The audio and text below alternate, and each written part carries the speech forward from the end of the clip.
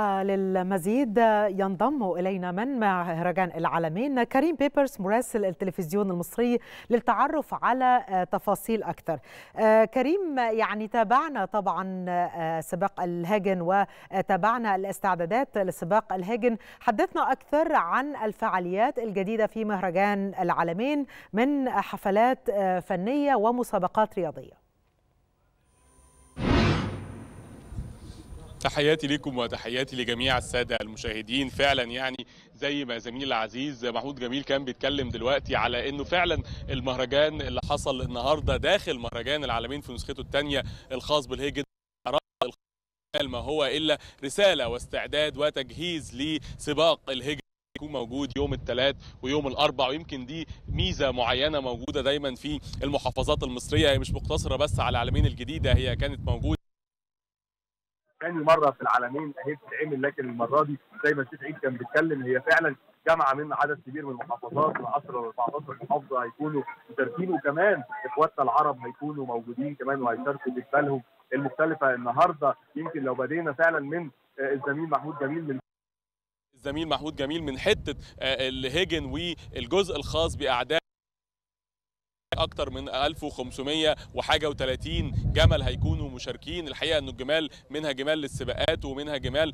للاستعراضات بشكل عام. لكن ده تعاون الحقيقة ما بين الشركة المتحدة للخدمات الإعلامية واتحاد الهجن ولكن أكيد اللي بينظم رياضة الهجن بشكل عام هي وزارة الشباب والرياضة ليها دور كبير جدا وفعاليات كتيرة حضرناها لكن دورها النهارده كمان مهم فيما يتعلق بالهجن. عشان نتكلم أكتر عن دور وزارة الشباب والرياضة معايا دلوقتي ضيفي الدكتور سامح منصور وهو مدير إدارة المشروعات المشروعات بوزارة الشباب والرياضة. برحب بحضرتك يا فندم على القناة الأولى. ما الذي توفره وزارة الشباب والرياضة لدعم رياضة الهيجن عامة ووجودها النهارده في العالمين الجديدة في المهرجان؟ شايف الشباب والرياضة يعني ليها تواجد يعني إن شاء الله جاد جدا في مهرجان العالمين. بدأ الأسبوع الماضي بصورة تذكارية للأبطال البارالمبيين اللي هيشاركوا في باريس إن شاء الله بعد أولمبياد الأسوياء ويمكن النهاردة تاني فاعلية اللي هي مهرجان الهيجن. رياضة جميلة ورياضة محببة ورياضة تراثية للمصريين وللعرب. حضرتك نوهت إن في يعني إن شاء الله في بطولة بكرة وبعده على المستوى العربي بمشاركة دولة الإمارات. وزارة الشباب والرياضة بتدعم ده سواء على مستوى البطولة إن هي في بطولة الهجم بتتنظم في مصر وكمان على مستوى الممارسة. إحنا شفنا النهارده رياضة الهجم بتشارك في الممارسة العامة والتعريف بالرياضة في الشارع من خلال تواجدها في مدينة العالمين حضراتكم كل الإعلاميين النهارده بيغطوا الرياضة ديت وإن في مسيرة للهجن النهارده موجودة. فبالتالي كل العالم شاف الرياضة الجميلة ديت وإن في رياضة تراثية موجودة في مصر وإن شاء الله تنتشر بشكل كبير جدا من خلال إلقاء الضوء عليها في مدينة العالمين النهارده. طيب كمان أكيد الوزارة بتقدم نوع من أنواع الدعم دايما للرياضيين موجود زي ما حضرتك ذكرتها في مع البارالمبيين موجود في نشاطات أخرى. لكن إيه الدور المباشر اللي بتقدمه لاتحاد الهيجن أو للهيجن خصوصا انه بعد العرض الجميل اللي شفناه النهارده وفي انتظار أكيد تنظيم هايل للمهرجان اللي هيكون بكرة بعد زي ما حضرتك ذكرت أو فجر بكرة وبعد.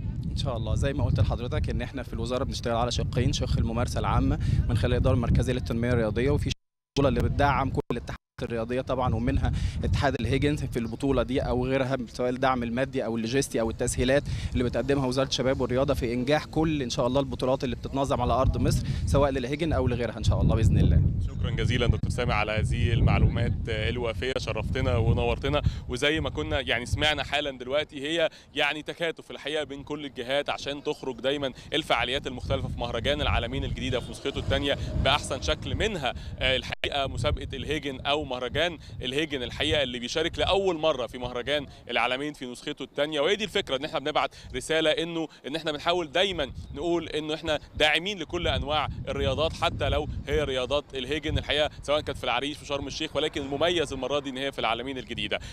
هل ده هيقتصر بس المهرجان على فكرة الهيجن أو الاستعراض أو المسابقة اللي هتكون اليومين دول الحقيقة إنه لأ زي ما الزميل محمود كان بيتكلم من شوية إنه لسه فيها هتبقى فرقة الفنون الشعبية وفرق خاصة وحفلات خاصة بوزارة الثقافة هتكون موجودة على الممشى السياحي النهارده وده أكيد ما يمنعش إنه استمرار الحفلات اللي هتكون موجودة بعد كده على المسرح الروماني في المدينة التراثية هتبقى تقريبا يعني يوم آه ويوم لأ يعني شكل شبه يومي للحفلات دي غير الحفلات الأسبوعية اللي موجودة في ال U Arena غير الفعاليات الرياضية المختلفة.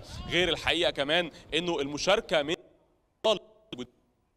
والطلاب يعني الأطفال ليهم أماكن يلعبوا فيها هنا في المهرجان. مشاركة الناس بشكل عام في الشاطئ العام. الحقيقة كمان إن الطلاب اللي موجودين من الجامعات بيجوا عشان يمارسوا هواياتهم المفضلة من رسم ومن غناء على المنطقة الترفيهية أو في المنطقة الترفيهية بالإضافة للفعاليات الرياضية زي كرة القدم وكرة السلة. وكل ده أكيد هنتابعه في الأسبوع الثالث للمهرجان العلمين الجديدة في نسخته الثانية برجع لكم مرة ثانية بشكرك. شكرا جزيلا. كريم بيبرس مراسل التلفزيون المصري